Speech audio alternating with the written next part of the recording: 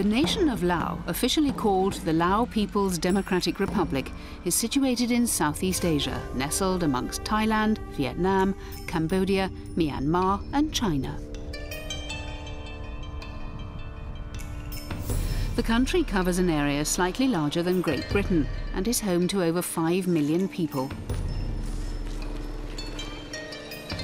Like its neighbours Vietnam and Cambodia, Laos is known for its tragic and turbulent past. From 1964 to 1973, to prevent communist pro-Vietnamese forces from gaining control of the country, the United States dropped over 2 million tons of bombs on Laos. It remains the most heavily bombed country per head of population in the history of warfare.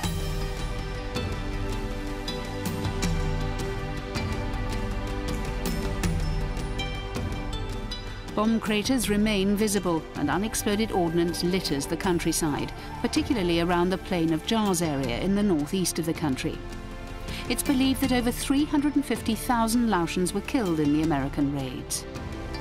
The war in Laos has left a legacy of poverty and underdevelopment. Unsurprisingly, sporting pursuits are not high on the list of priorities here. However, that's not to say that this impoverished land is a sporting black hole, as we found out on our visit to the country back in March 2008.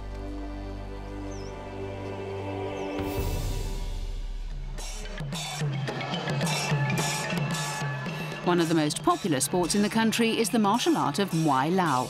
Muay Lao is a style of kickboxing which utilises hands, feet, elbows and knees, as well as stand-up grappling. This sport is practiced throughout Southeast Asia and is known by a variety of names depending on which country you're in. For example, in Thailand it's called Muay Thai, whilst in Cambodia it's referred to as Pradal Serey.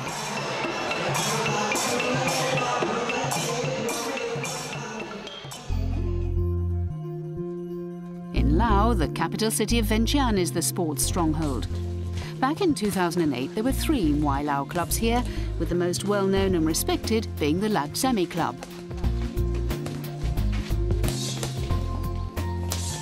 It was based in the south of the city in the village of Ban Sokam and was established in 1998 by one of Laos' greatest ever fighters. A good fighter has to possess a number of different qualities. Most importantly, you need to have what I term a fighting spirit. You also need stamina, confidence and quick reflexes. Then, of course, there is the obvious quality of strength. Really good fighters can hit hard and deliver knockout blows with either their fists, elbows, knees or feet.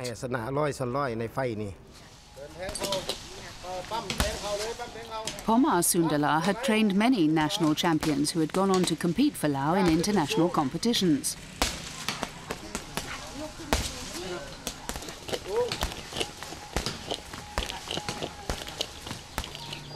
Back when we visited, one of the leading fighters in Sundala's stable was Thomas Panith. Thomas is certainly a great fighter. With my hands on my heart, I'm sure that one day he'll be a national champion. Since I've been working with him, he's developed a lot. I believe that he's good enough to represent our nation at the SEA Games, for example. And that is our goal.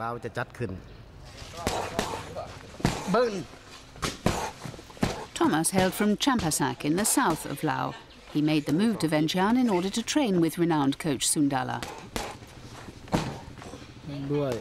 When I was growing up, I used to always watch the Muay Lao fights that were shown on television. And from a young age, I decided that I wanted to be a fighter. I used to see the great champions with the trophies and the money, and I said to myself, that's what I'd like to do. I had my first fight when I was eight, and it all started from there.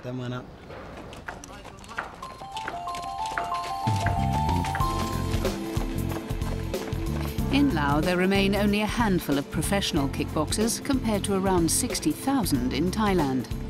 Nobody at the Lat Semi Club was a professional. Pomar was a builder by trade and Thomas a student. The two-hour training sessions took place before and after the working day. There's little money invested in this sport by the Lao authorities and there are hardly any sponsors. The Lat Semi Club was funded solely by Pomar and his friends. Young fighters like Thomas were provided with accommodation and food by their coach.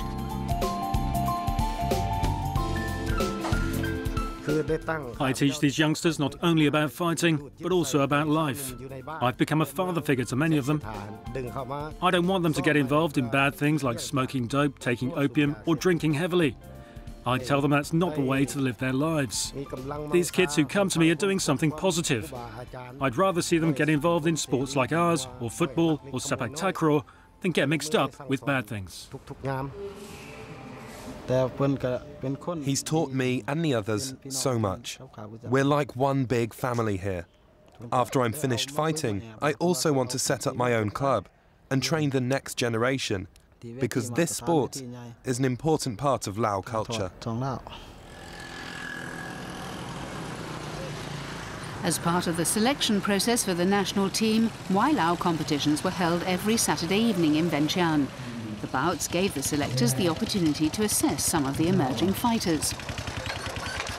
On the day that Transworld Sport was in town, Thomas was headlining the bill at the Sok Sai Ring in downtown Vientiane.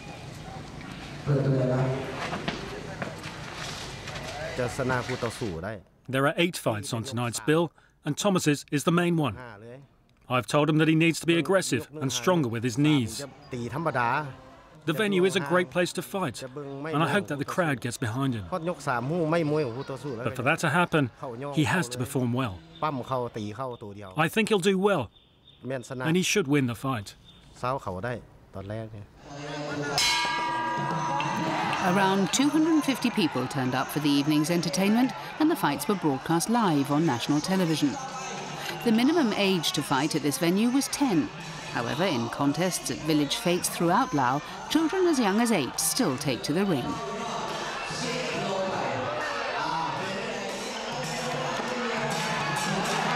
In Muay Lao, the bouts are scheduled for five rounds, with each round lasting three minutes. Coach Sundala had three of his fighters on this bill, and his first two both won their contests.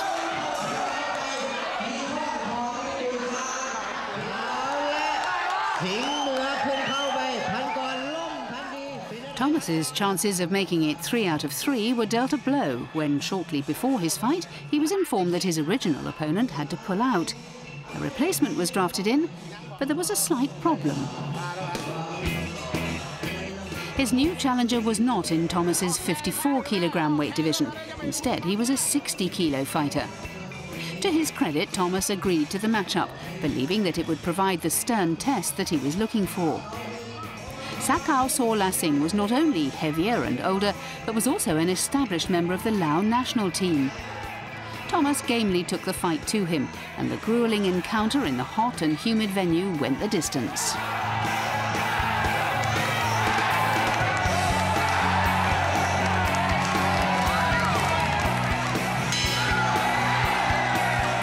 Clash was judged to be the best fight of the evening, and as a reward for their efforts, both men were given 100,000 kip, around $10.